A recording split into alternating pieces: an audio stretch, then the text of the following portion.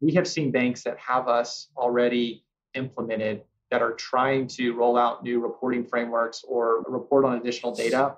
It's a matter of days, not months, that they can get this rolled out. And that's really encouraging for our risk leaders who realize that this is ever changing and they need a platform that can be dynamic as the world is dynamic as well. ESG has exploded into compliance and business consciousness in 2021. Join Tom Fox, the voice of compliance, on the ESG report and learn about sustainability risks, opportunities, and issues that business leaders and compliance professionals need to know about regarding ESG. Hello, everyone. This is Tom Fox back for another episode. Today, I'm thrilled to have fellow Texan with me, Will Robinson and to demonstrate that, as I tell everyone, these podcasts are really just a virtual cup of coffee with Tom. We both have our coffee. So, Will, with that introduction, first of all, welcome and thank you so much for taking the time to visit with me today. Yeah, thank you, Tom. I really appreciate the opportunity. Nice to meet you. Could you tell us a little bit about your professional background? Sure thing. I like to tell people that I'm a recovering investment banker. I studied finance and economics in college and moved to New York to live the Wall Street life and did that for several years and worked in worked for a big investment bank and a big private equity firm. But being an entrepreneur has always been my calling. And i got the opportunity to work with software companies when i lived up there. And hey this would be a great career for me. And so for the past 10 years or so i've been involved in several different software and technology companies focused on machine learning and automation. Really excited to be here. I've been with my current company Encapture about three years as ceo and it's been a really fun ride so, could you tell us a little bit about Encapture, your products and services, and who some of your clients or customers are? Absolutely. Encapture play is a software company that plays in a little corner of the market we call intelligent document processing or IDP.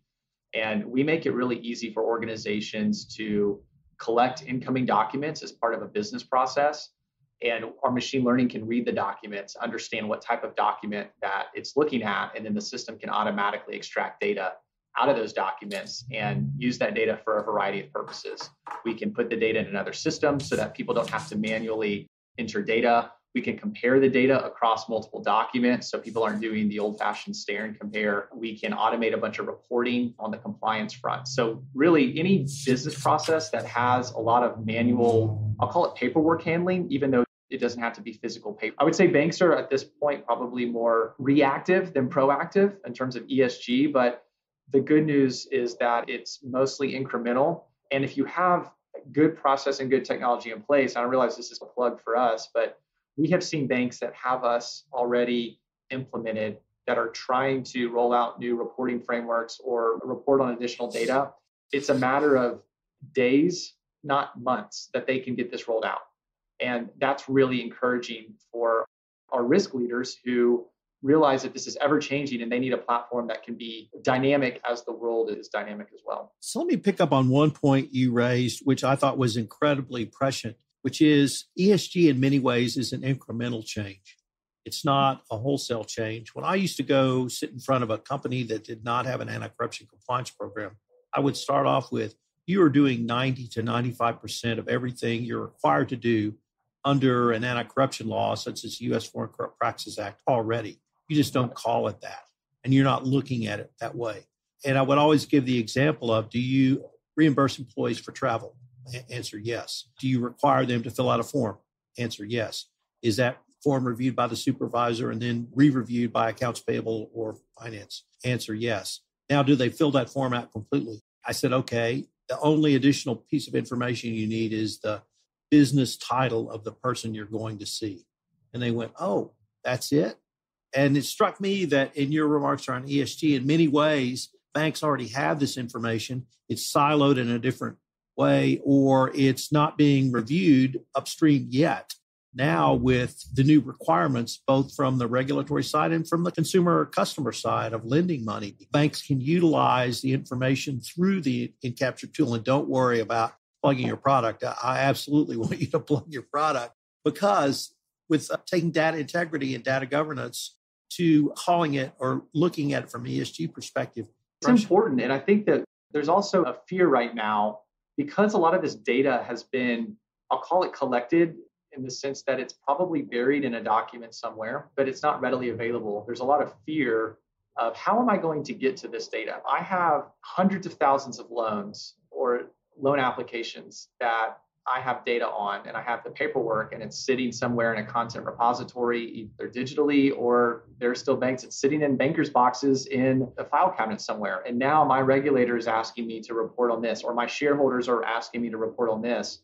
And other than going out and trying to hire 25 people to come and just manually swarm these legacy documents, I don't know how else to get at this data. I know I have it, it's sitting right here. That's a fun part of machine learning is saying, hey, it's almost like we're setting up one employee that can do the work of 20 or 25.